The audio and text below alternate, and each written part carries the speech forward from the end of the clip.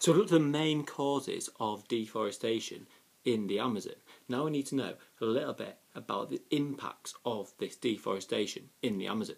So we're going to get you started with 10 of the main impacts. So here we go. Number one.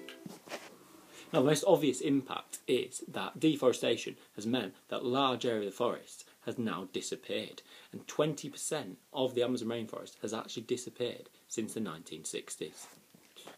Number two. Now, because such large areas of the rainforest are destroyed, this means animals' habitats are also destroyed, leading to extinctions of different species. And apparently, 35 different species of animal that live in the rainforest become extinct every single day.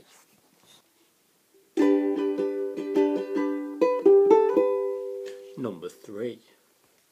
Now, another impact of deforestation in the Amazon is that indigenous tribes, the tribes which are native to the Amazon, um, are in decline.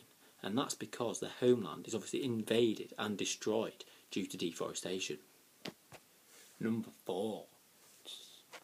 Now, because one of the main causes of deforestation in the Amazon is farming, and farmers tend to use lots of chemicals like pesticides, another impact of deforestation is that these pesticides can find their way into water streams and um, water sources and they can actually kill fish and other organisms which live underwater. Number five. Trees actually take in carbon dioxide, which is a gas which can contribute to climate change, to global warming. So therefore, when trees are removed from the Amazon rainforest, that means less carbon dioxide is absorbed from the atmosphere and therefore there can be contribution to global warming as a result of deforestation. Number six. Another impact of deforestation in the Amazon is that there are actually only 700 silverback gorillas left in the wild. Number seven. Now, another problem with deforestation is that when trees are cut down, that means that the soil is exposed to the weather.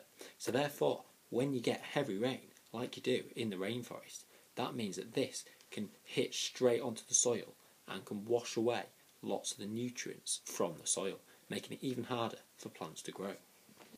Number 8. Now, as well as animals being lost due to deforestation, there are actually large amounts of plants that are also lost as a result of large areas of the forest being cleared. And one of the problems with this is that lots of plants are actually used for medicines. So we could actually be destroying medicines that we might need in the future. Number 9. Now, one positive impact of deforestation in the Amazon is economic development.